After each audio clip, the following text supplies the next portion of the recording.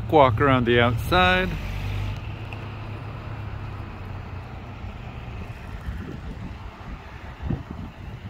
The neighborhood is just neighborhoody.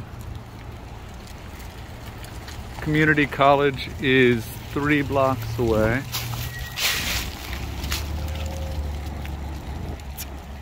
on a corner.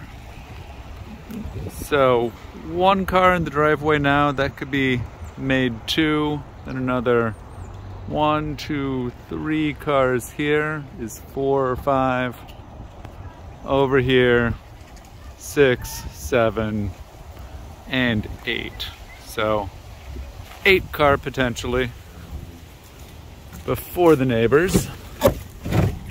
Backyard.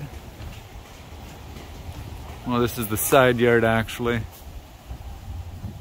Is tight, but something. It's got some established shrubs. Has a kiwi. Exterior of the house is funky, but it has some character. So the actual backyard is very narrow. Opens up here a little bit and one of the back bedrooms has what used to be a wheelchair ramp.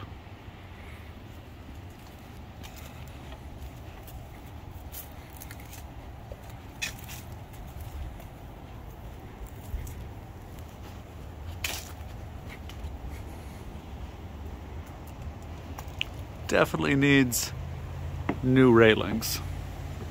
This is the only thing that's really awful on the house though.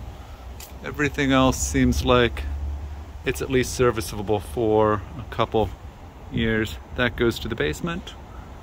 And yeah, let's buy ourselves a college house.